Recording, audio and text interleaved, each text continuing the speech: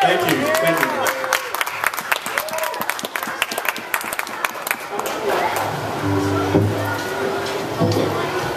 All right. We're going to say goodbye to Tim for one song. And we're going to do Grand Funk Railroad, Some Kind of Wonderful.